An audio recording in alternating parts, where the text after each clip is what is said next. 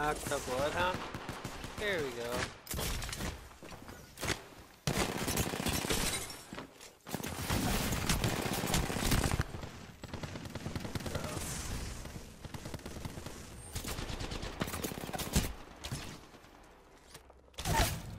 Got another one down.